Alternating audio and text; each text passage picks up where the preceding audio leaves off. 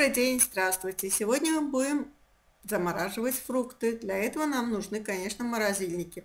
Они бывают вот такие маленькие, бывают вместе с холодильником, как мы привыкли, обычно сверху, ну, сейчас уже давно они появились и снизу, которые имеют большой объем. Вот там очень удобно держать эти фрукты, и они будут замораживаться помимо того, что мы там держим мясо, курицу и всякое прочее.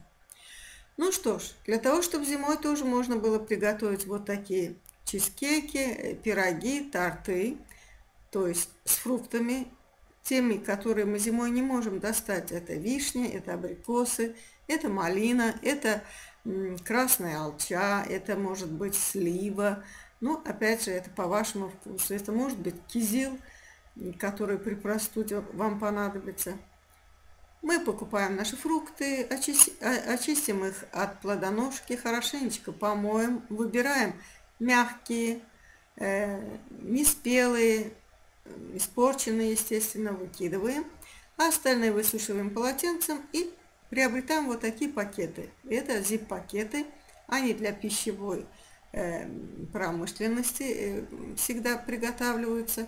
И смотрите, промытые чистые фрукты собираем в этот пакет. Вот и вся хитрость. Если нет зип-пакета, конечно же, можете взять целлофановые пакеты для продуктов. Э, две штучки друг друга. Значит, в один насыпали, заверну, э, завязали узелок, выпустили воздух, завязали узелок. И второй точно так же а то и можно положить в три пакета. Э, почему делается так? Потому что вот эти зип-пакеты не пропускают воздух ни в наружу, ни вовнутрь. А вот те, э, которые мы называем пингвинами, вот те пакеты, они даже через два слоя порой пропускают воздух. Каким образом, я не знаю, но там продукты бывают немножечко пахнут вот Э, холодильником, скажем так. А теперь возьмем абрикосы. Абрикосы немножечко э, по-другому. Можно сделать целые. Для этого берем маленькие абрикосики, такие вот. Бывают мелкие, бывают крупные. Крупные для варенья, а мелкие для повидла, для джема, для конфитюра и для того, чтобы заморозить.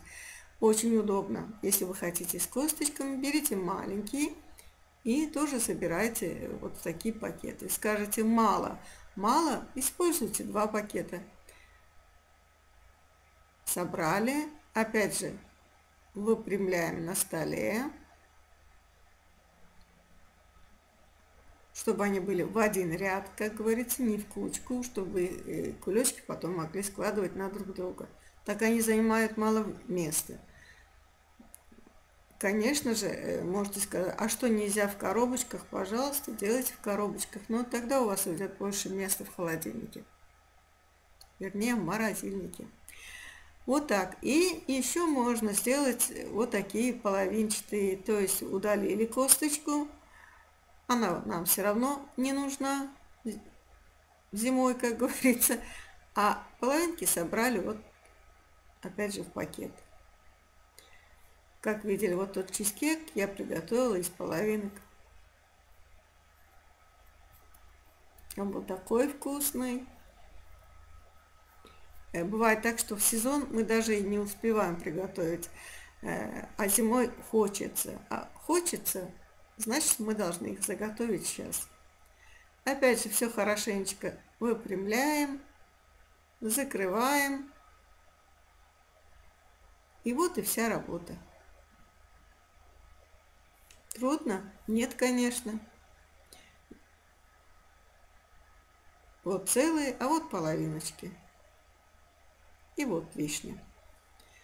Скажете, а черешню, а все остальное, а все остальное надо есть сейчас, свежими. Это мы делаем только для того, чтобы могли испечь зимой.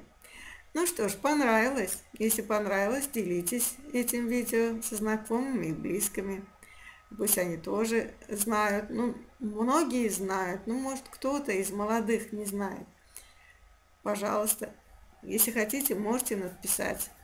Э, видно, что название писать не будете, может, напишите какого числа или там э, какого года. Не думаю, что они у вас пролежат года 2-3 в холодильнике. Ну вот так.